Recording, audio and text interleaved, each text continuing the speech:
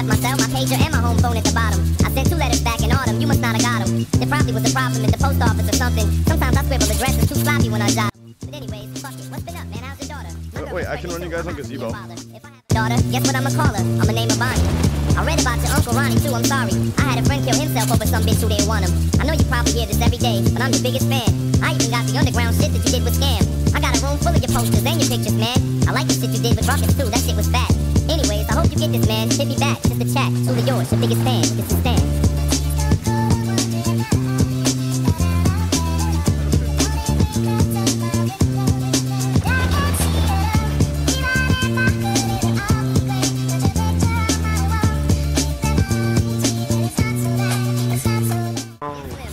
Most you don't like me, I'm sorry. Boy, give me autograph for Matthew, that's my little brother, man. He's only six years old. We waited in the blistering cold for you. Four hours and you just said no. That's pretty shitty, man. You're like his fucking idol. He wants to be just like you, man. He likes you more than I do.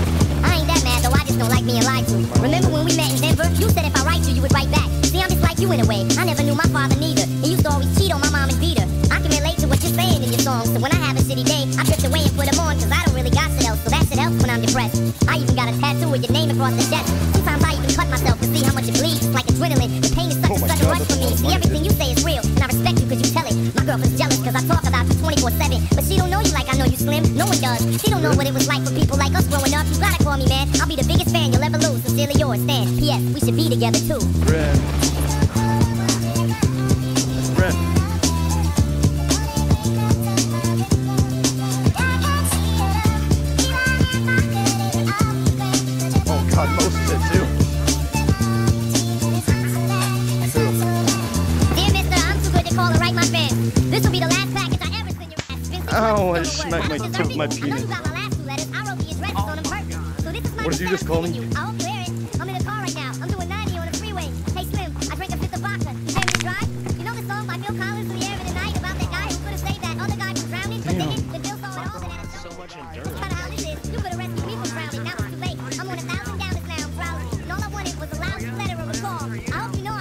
Pictures off the wall. I love you, Slim. We could have oh, been Oh, what are these noises I'm hearing?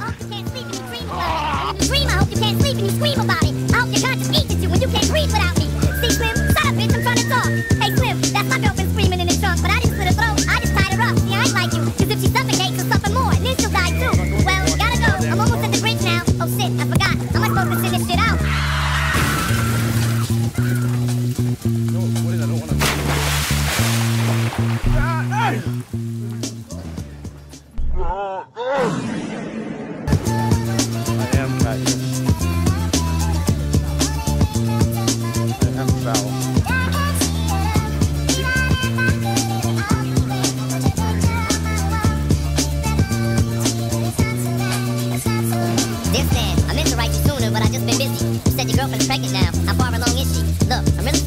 flattered you would call your daughter that. And here's an autograph for your brother. I wrote it on the starter cap.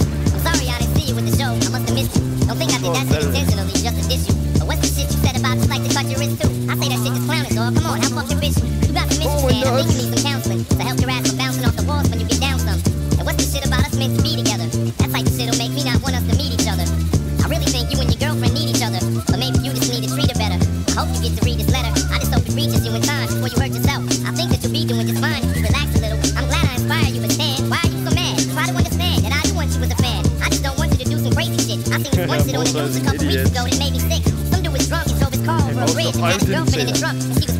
Kid. And in the car they found a tape. I It didn't didn't say say who that, it was bro. to. Come to think about it, his name was, it was you.